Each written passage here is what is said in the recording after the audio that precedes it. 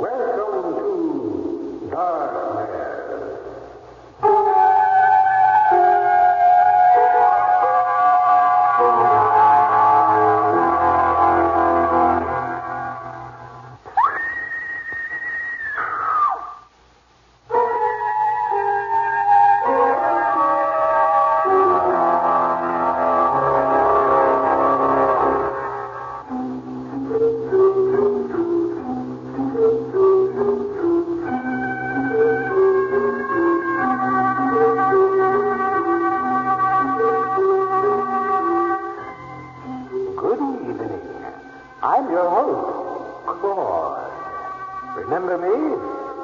That's right. You don't. But I know you. How? Oh, I've been watching you. The other day at the supermarket, I was standing right behind you. But don't worry, I'm not planning to do anything. At least, not right away. But enough of this amusing banter. Tonight's story is a simple tale of mayhem.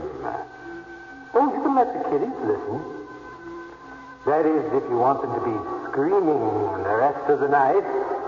But if you're alone, why not turn off the lights? Open the front door, just a crack. Then get into bed and wait.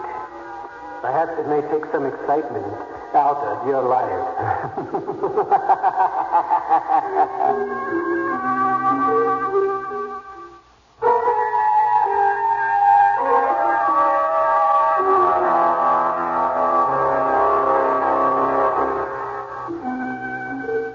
Let's get to our story. It's called Weekend Vacation. I hope you live to enjoy it.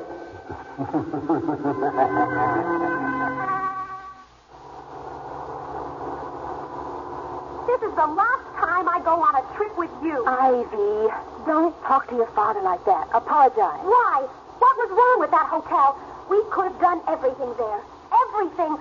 I even selected a boy. Oh, what's the use? Parents. We did leave rather abruptly, Bruce. I'm sorry, ladies, but it wasn't our sort of place. Really? Well, it seemed all right. And Ivy's young man was nice.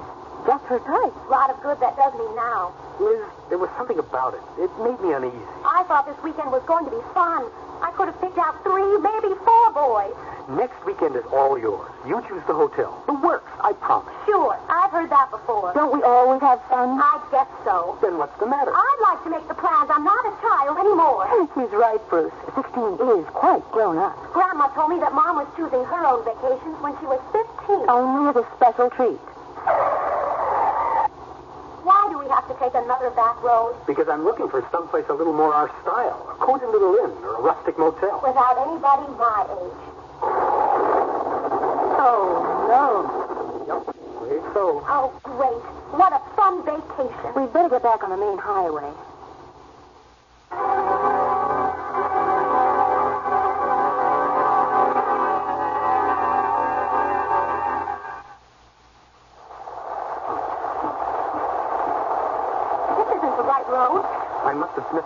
Missed the turn. I haven't seen another car for miles. Not even your cozy inn. That's enough, young lady.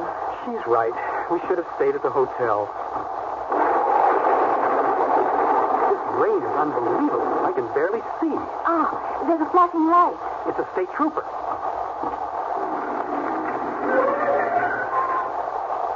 Officer, which way to Route 7?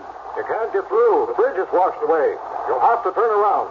Can't we stay here with you till it lets up? Better not. Too dangerous. What do you suggest? There's a motel with cabins two miles back. You could stay there till the storm lets up. All right. You can't miss it. Five Oaks Lodge on the right, just past the cemetery.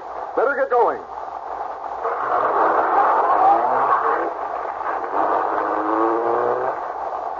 I don't remember seeing a motel. As a matter of fact, neither do I.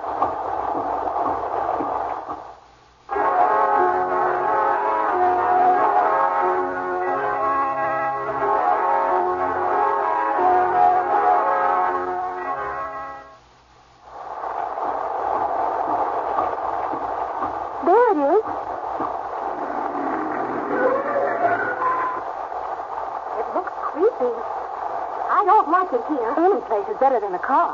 Daddy, let's go. No, we're staying here until the storm lets up. I don't know, Liz. It's pretty run down. What was that? Where? I saw somebody running from that cabin. Who'd be running around in this rain? I'll try the office. Oh, don't go. Ivy, please. It's getting worse. I hope that trooper's all right. We should have stayed with him. I'd rather be here. At least we'll have a dry cabin and a bed. Mom, I'm getting bad vibes about this place. Oh, it's just your imagination. It isn't. Mom, let's go. No, it's too dangerous. I don't want to stay here. The office was locked. I think, well, why don't we go on? Maybe we can find someplace else. Oh, good. This place scares me. Control yourself. This is no time for an argument.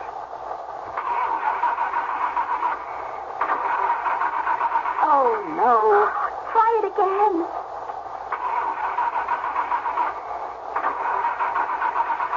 No use. Something's shorted out. Now we have to stay. A light went on in the office. Come on, let's make a run for it.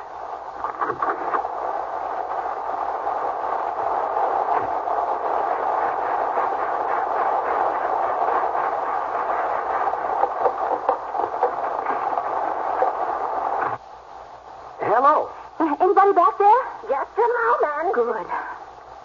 Oh, look at it come down. That's a bad one. Indeed. Uh, the road's almost washed away. We're lucky to find you. of course you are. See any other cars on your way? None at all. The bridge was washed out and the trooper turned us back. Trooper, eh? I imagine you'll get some more customers if this keeps up. Oh, not really. Five Oaks is too isolated and nothing like their new motels. Oh, barely get any trade. Not even salesmen. oh, well, here I'm jabbering on, and you should be in a nice, warm cabin. Well, we can remedy that. Ah, your daughter? Yes. My, what a pretty little girl. Dad, let's go. Long blonde hair. Yes, yes. Beautiful. Uh, how much is the cabin? Oh, sure, we can settle up later. You won't be going anywhere in this storm. Please. Here you are. It's number seven. The last one on the right. Well, ladies, uh, shall we make a run for it? That's lovely blonde hair. Monroe, take a fancy to her. Monroe? My grandson loves girls with blonde hair. Shut that door. Got yet, Monroe? Death? Girly. Blonde girly. Don't, don't come near me. He's harmless. Pretty hair. Let's Go to our cabin. Daddy, let's go. Don't fret. He won't hurt you. Got the mind of a two-year-old. And the body of a lumberjack. Monroe like girly. Oh, keep away from her, you. Granny, no tit. Take away your teddy if you ain't good. No take Teddy. Monroe loves Teddy. Should have had him put away, but couldn't do it. Tin's tin. You'll, uh, take supper with us? Yes, yes, that that would be nice. Fine, fine. Uh, around six. Enjoy your cabin.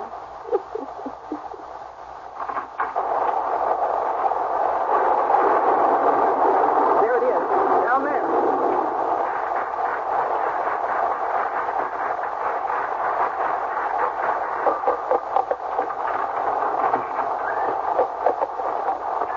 that thing, it wanted to touch me. Don't carry on. He's harmless.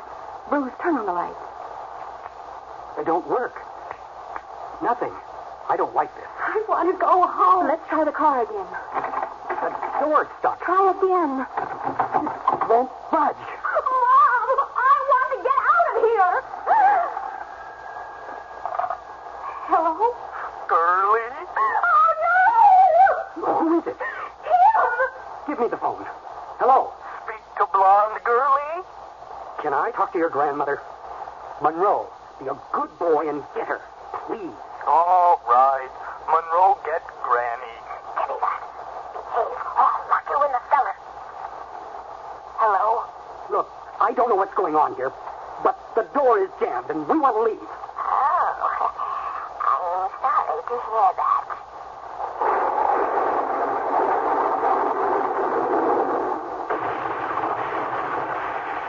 Bruce, a tree just fell in front of our car. yes, you'll be staying with us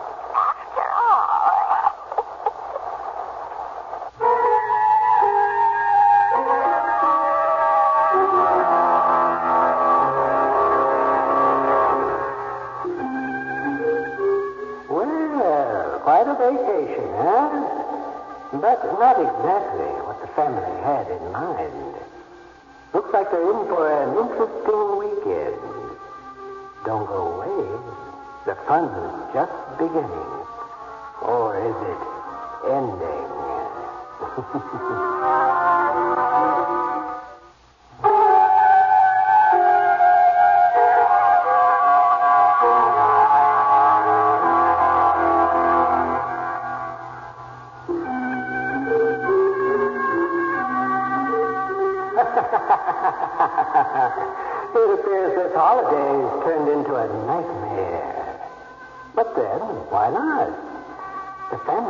decided to stay for dinner, and Granny's preparing something very special.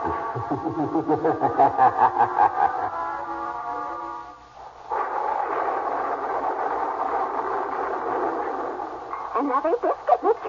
Uh, don't believe I caught your name. Primave. Oh, biscuit, Missy? No, thank you. You ain't touched the thing, girl. I'm not hungry. Oh, suit yourself. Dinner is delicious. Long time since I fixed a real supper, just me and Monroe most times. Never get tourists no more since they put in the new highway.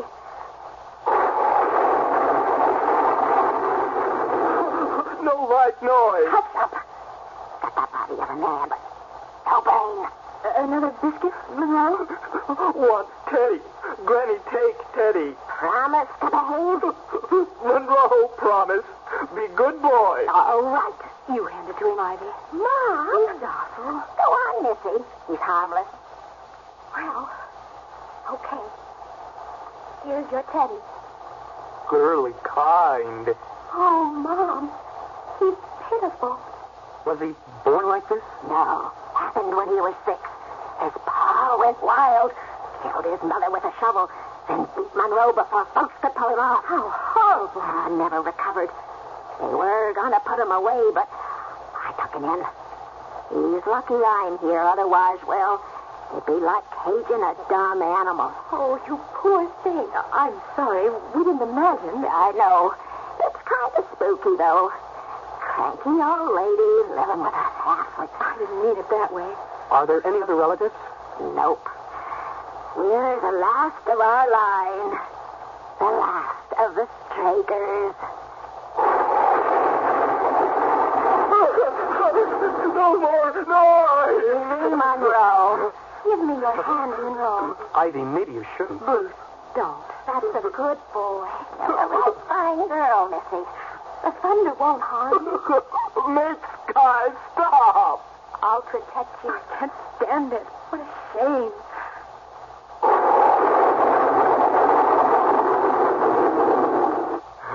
Monroe, let go of my arm. Monroe, you're hurting me. Daddy hitting mommy. Let go of her. Hitting mommy. He's crushing my arm. Get your hands up. Daddy kill. Daddy kill. My arm. Stop him, woman. Stop him. Monroe, stop, stop, stop, stop. Mom, my shoulder. I thought you said he was harmless. Yes. It was the thunder that scared him.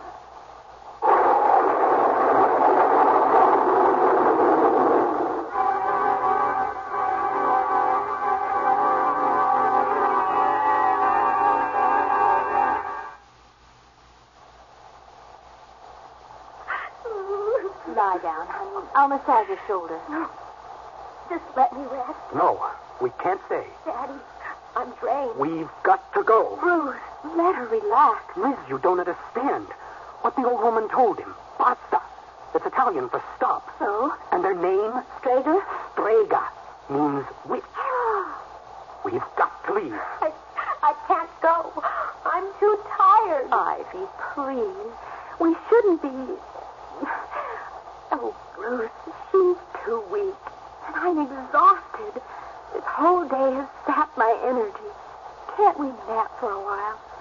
All right. Maybe I'm imagining the whole thing. Get some rest. We'll sleep in shifts.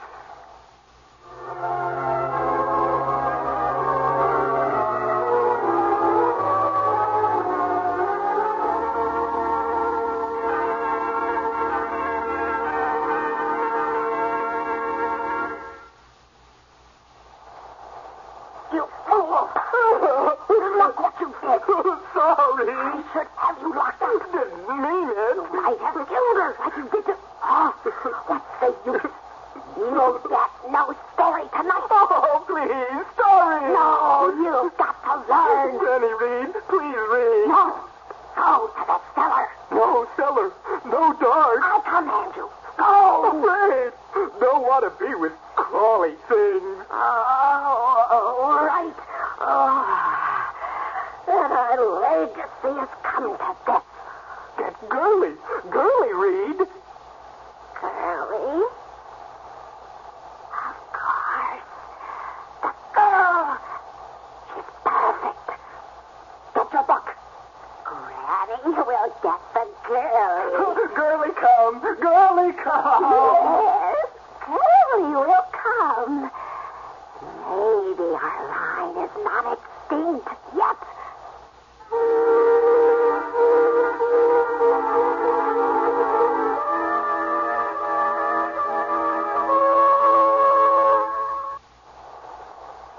Bruce, What? I'll stay up. Get some rest. What time is it? Mm, almost one. Do you feel better? Not really. You're cold. I'm drained. We should have stayed at that hotel. It would have been better for all of us.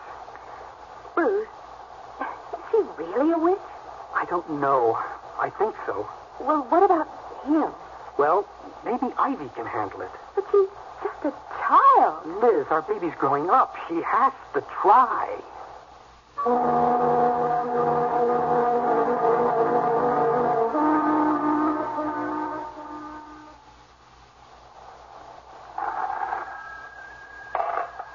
Hello? Missy, you all right? Yes, I'm fine. I was worried. My shoulder's a little stiff. I punished the boy real good. Well, it wasn't his fault. Next to mind, he's got to learn his manners. I want him to apologize. All right. Monroe, sorry. Granny punished. No read story. Go to the cellar. No, don't. He didn't mean it. He was just trying. I know, but he hurt you. Let me read to him. No. Please. I want to.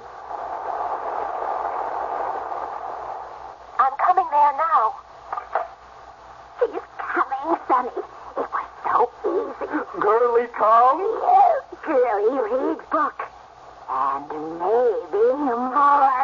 Happy. Get book. yes. Hello? Oh, we're in the kitchen. Happy. Happy. I came as soon as I could. What a sweet child. Let me make you some tea. I'd like that. You behave yourself, mister. Monroe, be nice. Be very nice. That was just a mistake, wasn't it? Wonderful. You're the granddaughter I've always dreamt of. I'll be right back. Girly read. Of course. book. Book. Read favorite story. Yes, I will. Sit next to me. That's a good boy. Would you like to touch my hair? yes. Touch. Hair. Soft hair. Mm, that's it. You can stroke it. Go on. Long hair. Soft. Soft. Sit closer. No, closer. Mm, Which story would you like to hear? Piggies. Read about little piggies. Yes, of course. Once upon a time, there were three little piggies.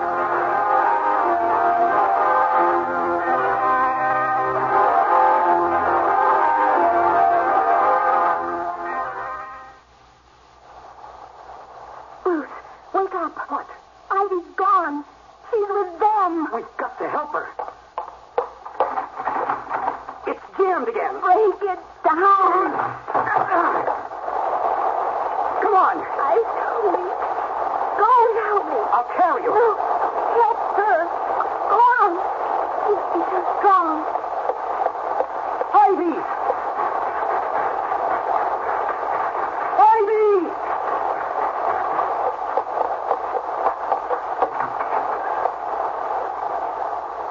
Daddy, I've taken Monroe. Get the old woman down. Keep away from me. I, I didn't know. Girlie, my, she takes my blood. Now, Granny, you're for my Elizabeth. No, no. Help me. Yes, darling, we saved the hag for you. Wonderful. No, stay away. Right there. His blood. Oh, it's so warm and sweet. Yes, drink, my baby, drink. Renew yourself. He's your type of young man.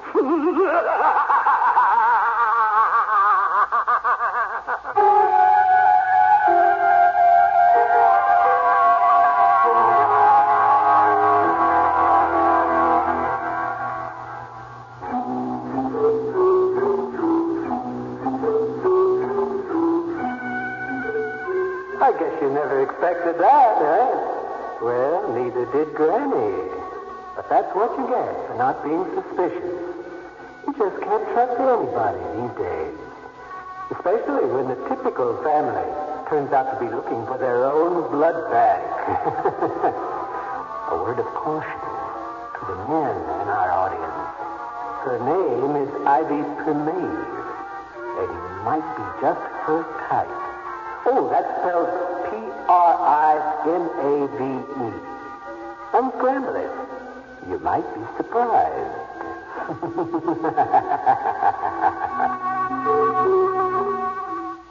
Next on Darkness.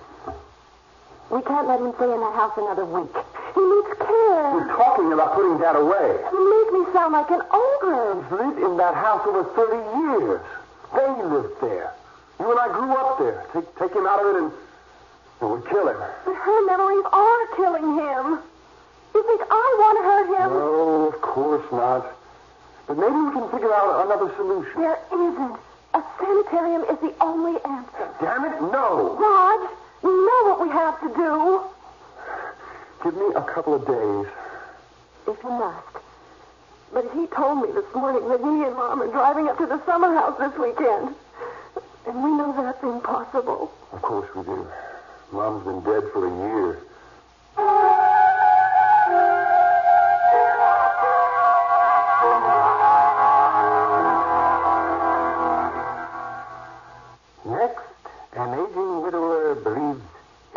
His wife has returned and must make up his mind whether to make the ultimate sacrifice for her.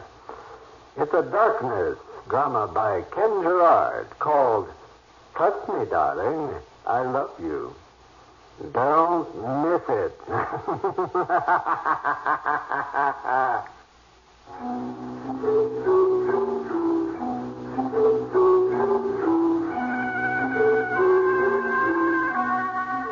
Weekend Vacation was written by Ken Gerard and directed by Roger Rittner. Featured in the cast were Betty Caulfield, Art Dutch, Sandra Kenworthy, Wendy Allen, and Michael Immel. Also heard were William Irwin and Bob Farley. Sound patterns by David Surtees. Darkness is a Ken Gerard, Roger Rittner radio production.